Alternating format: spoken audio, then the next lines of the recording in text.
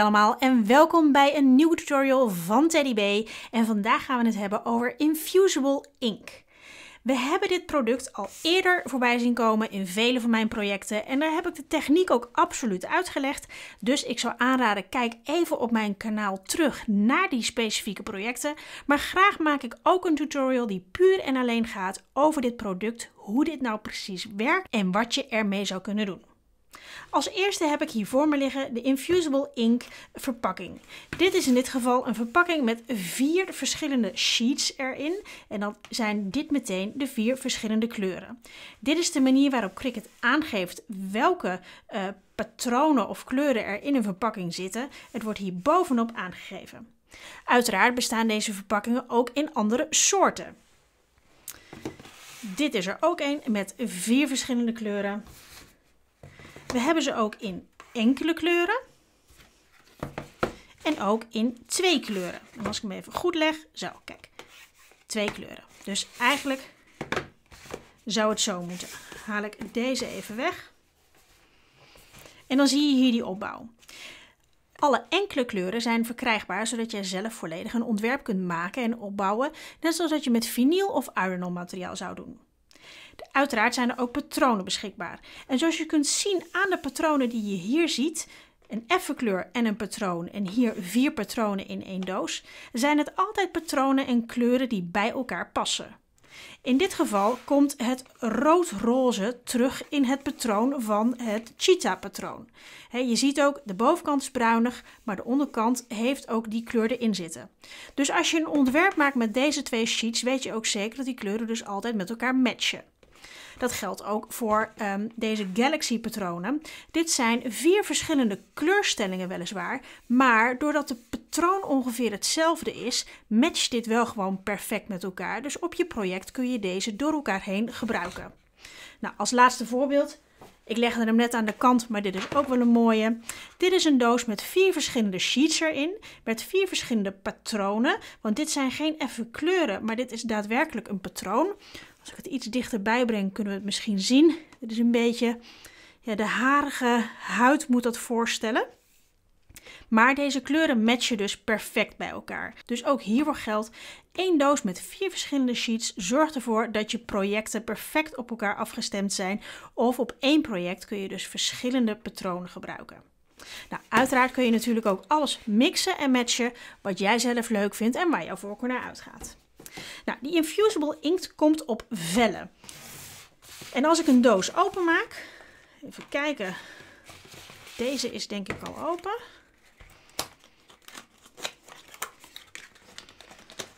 Dan komt daar een, verpakking uit en die verpakking is gesloten in zwart plastic. De reden hiervoor is dat we willen dat uh, dit materiaal eigenlijk zo lucht- en uh, lichtdicht verpakt wordt als kan. Dus op het moment dat je hem openmaakt en je wil hem daarna weer bewaren, dan is het altijd belangrijk, stop hem weer terug in deze originele zwarte verpakking. Dat is niet zo moeilijk, is een kwestie van weer oprollen. Nou, als ik hem dan openmaak, dan zie je in de verpakking in dit geval een testlapje stof waarmee je kunt testen. Vervolgens ook een zakje met bolletjes die het vocht opneemt. Dit kun je direct weggooien of onderin de verpakking weer bewaren. Dat trekt vocht aan, maar is wel gevaarlijk voor kinderen en dieren, dus wees er voorzichtig mee. En hier de rol met infusible ink in dit geval. Dit is dus een sheet. En je ziet het op het moment dat ik hem uitrol, deze heeft in dit geval best wel lang op de rol gezeten. En dan zie je er dus een soort van tunneltjes in ontstaan. Dat komt omdat op de achterkant een transfertape zit. Dit maakt in principe niet uit, want zodra je dit materiaal op de mat plakt, kun je dit met een brayer gewoon helemaal vlak drukken, zonder dat dat effect heeft voor je project. Zorg er ook altijd voor dat je die tunnels niet laat zitten, maar dat je die ook gewoon keurig plat drukt op je mat. Dat zorgt voor het mooiste resultaat en dan heb je een glad snijresultaat. Nou, in die rol zitten in dit geval zitten dus uh, twee kleuren. Die heb ik zelf toevallig gematcht erin gedaan. En wat er ook in zit is een stuk butcher papier. Nou, butcher papier is een stuk blanco papier. Dit wordt bijgesloten. Dit zijn in dit geval is het per sheet van Infusible Ink zit er één stuk butcherpapier papier bij. Dus bij twee sheets heb ik dus ook twee stukken butcherpapier. Nou, butcherpapier laat zichzelf vertalen naar slagerspapier, wat niet helemaal een goede uitleg is, omdat wij dat hier al jarenlang niet meer gebruiken. Maar dit is een papier waar geen enkele coatingslaag op zit aan voor- of achterzijde, maar wat wel heel glad is aan ene kant. En dit papier gebruiken we niet alleen om ons materiaal waarop we werken te beschermen, maar ook tegelijkertijd om uh, de sublimatie um, maar ook tegelijkertijd om de infusible ink te beschermen. Dit leggen we dus tussen onze pers en de infusible ink in. Op het moment dat je deze sheets uh, schoon houdt en dat er geen inkt op zit, kun je deze oneindig blijven hergebruiken. Voor de duidelijkheid, dit is dus geen bakpapier. Dit is geen papier wat je in de oven gebruikt. Dit is geen siliconenpapier en dit is geen papier met een plastic coating voor in de vriezer. Dit is specifiek een ander stuk papier. Op het moment dat jij hier extra van zou willen bestellen en meer dan dat je in de doos meegeleverd krijgt, dan kun je dat online terugvinden, ook onder de benaming butcher paper. Dus slagerspapier, maar dan in het Engels. In principe hoef je dit niet los te bestellen, want dit materiaal wordt gewoon met je infusible inkvellen meegeleverd. Enkel indien je dit wil gebruiken met het gebruik van je pennen kun je het zelf los bestellen. Dit is dus wat er allemaal in een verpakking zit. De kleur, het butcherpapier en een teststukje en daarmee kun je aan de slag. Dat is je papieren verpakking van de Infusible Ink. Dit zijn de sheets. Dan hebben we Infusible Ink ook nog beschikbaar in een andere vorm, namelijk in pennen. Ik heb hier in dit geval even een hele set met Infusible Ink pennen voor me staan. Die komen in een handig houdertje. En als je ze gewoon netjes rechtop laat staan in plaats van plat te leggen zoals ik, dan blijven ze daar ook keurig in zitten. Deze pennen zijn beschikbaar in een 1.0 variant. Ik even een kleur pakken die goed zichtbaar is. Dat is dit. En de 1.0 is dus in dit geval de marker, zoals we dat noemen. En deze pennen zijn ook beschikbaar. Even netjes terugzetten. In een 0.4 variant. En die 0.4 variant, die kennen we als de fijnschrijver. Dus met Infusible Ink heb je ook de fijnschrijvers. Eigenlijk min of meer dezelfde verdeling die we kennen van de, de reguliere Cricut pennen. Ook die hebben we in 0.4 en in 1.0. Nou, zowel de pennen als de sheets hebben dezelfde inkt in zich zitten. Het verschil tussen het werken met de pennen en de sheets is er een klein stukje, maar eerst wil ik jullie graag uitleggen wat doet Infusible Ink nou precies. En daarin zit er geen verschil tussen de inkt die uit de pennen komt en de inkt die op de sheets zitten. Ik zet ze even aan de kant. Op het moment dat je Infusible inkt hebt, en dan pak ik even mijn mat erbij. Ik pak er een stuk cardstock bij ter bescherming van mijn mat. En het stukje stof het teststukje wat bij mijn verpakking zat. Dan kunnen we op dit teststukje um, Infusible ink aan gaan brengen. Wat daarbij belangrijk is, is dat we eerst zorgen dat het teststukje altijd stofvrij is. Dit geldt voor iedere toepassing met Infusible Ink. Zorg ervoor dat je er eerst even overheen rolt met een kledingroller, zodat alle stofjes, haren, dingen die jij zelf niet ziet met het blote oog, ervan af is. Vervolgens gaan we de Infusible Ink toepassen. Ik heb hier nog wat gesneden stukjes liggen, dus die ga ik op het materiaal leggen. De inktkant gaat naar beneden op het materiaal. En ik ga er in dit geval trouwens, ik leg er heel enthousiast meerdere neer, maar ik ga er maar één even neerleggen, want ik gebruik vandaag een kleine pers. De truc is nu dat ik hier nu butcherpapier overheen leg. Dat butcherpapier beschermt namelijk mijn oppervlakte en mijn pers. Zodra dit netjes ligt, pak ik hier mijn pers bij. Ik gebruik in dit geval de Cricut Easy Press Mini. Die staat op de hoogste stand en die zet ik erop en die laat ik vervolgens staan. Ik moet dit 40 seconden laten staan. En hoewel er geen teller zit op de Easy Press Mini, kan ik die uiteraard op mijn telefoon aanzetten. Maar tegelijkertijd leg ik jullie uit hoe dit proces precies werkt. En dat is ongeveer even lang als wat ik nodig heb. Op dit moment wordt namelijk het proces sublimatie op gang gezet. Een sublimatie is een heel mooi woord van het overbrengen van een vast stuk naar gas zonder dat het tussentijds vloeibaar wordt. Nou, dat klinkt heel interessant, toch?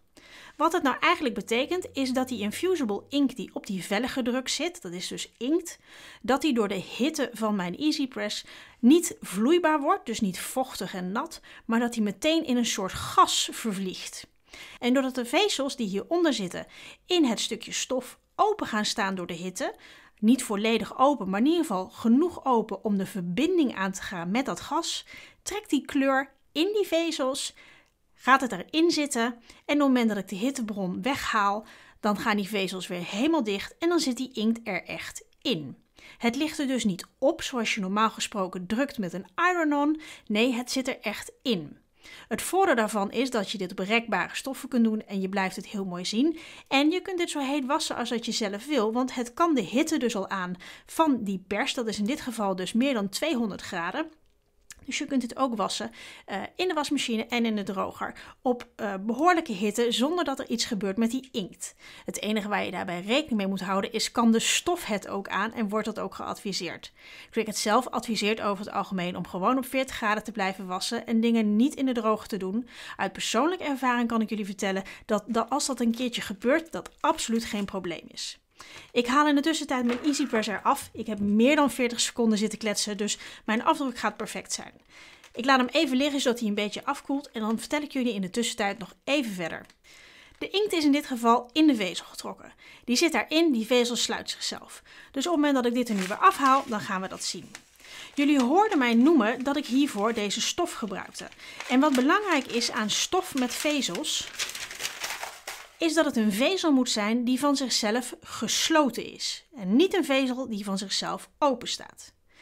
Nou, vezels die van zichzelf openstaan zijn bijvoorbeeld katoenvezels. Dat zijn vezels die zullen nooit sluiten. Het is een natuurlijke vezel. Dus op het moment dat je daar een inkt in legt en je wast hem daarna, ja, dan spoelt die inkt er gewoon vloep zo weer uit. Op het moment dat je dat doet met een polyestervezel, die is wel gesloten. Die vezel laat zichzelf een klein stukje openstaan. De rand van die vezel gaat door de hitte open. Het gas van de inkt gaat daarin en vervolgens zit het daar vast in. Die vezel wordt gewoon weer helemaal hard op het moment dat de hittebron weg wordt gehaald. En vervolgens zit die inkt daar vast aan. Je kunt wassen wat je wil, maar dat gaat vervolgens niet meer uit. Nou, hij ligt hier keurig te liggen en braaf te wachten tot ik uitgekletst ben. Maar op het moment dat ik hem nu omhoog pak, dan zie je het verbluffende effect. Deze letter zit perfect in de stof. En mocht je er nou aan twijfelen of dat hij er echt in zit, kijk, ik kan hem op mijn vingertopje leggen en dan zie je hoe soepel het er omheen valt. Met een iron materiaal wil het misschien nog wel eens wat stijver worden. Maar wat ik ook kan doen, is er gewoon lekker aan trekken. En zie je hoe die vervormt op dat moment?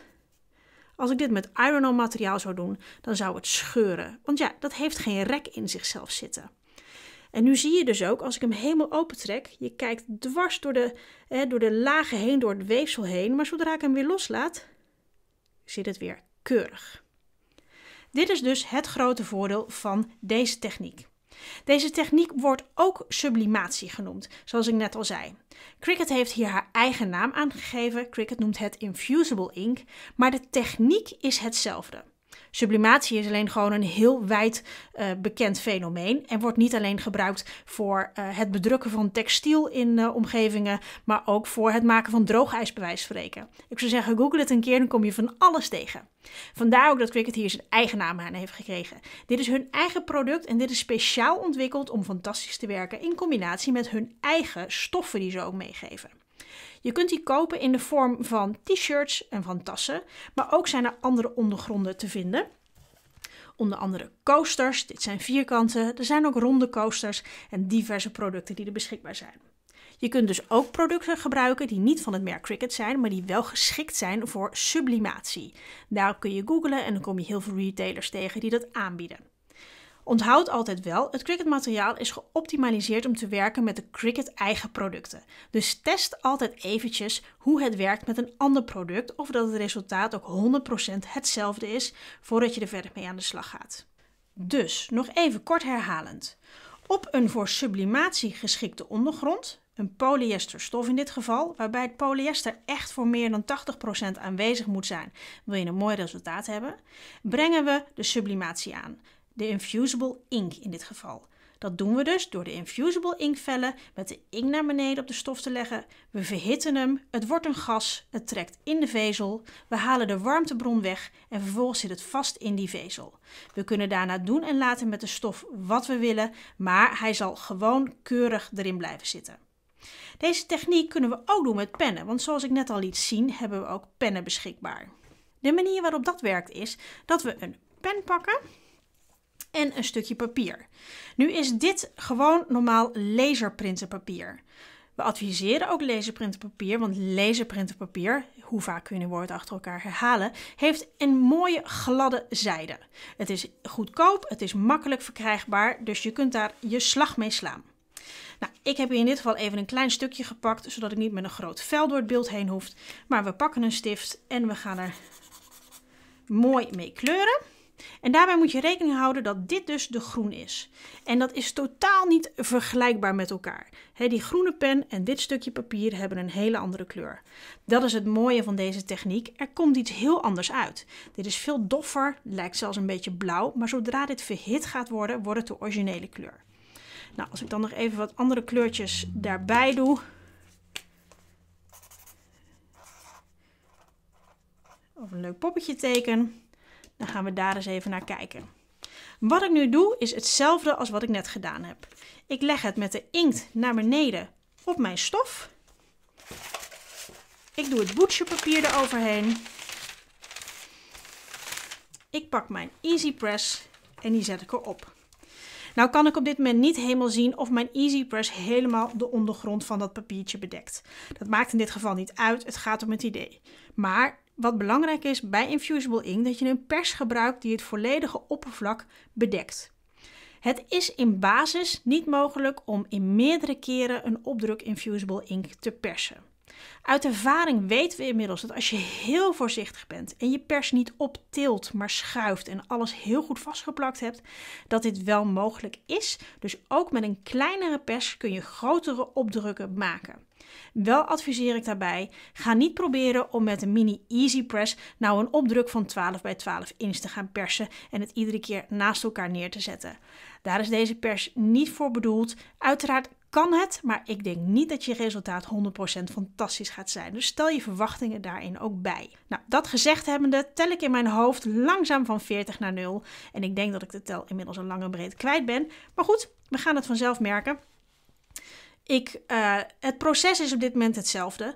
De inkt die op het papier geschreven is, wordt door de ontzettende hitte, wordt die inkt uh, een gas en die trekt ook weer in de vezel van die stof.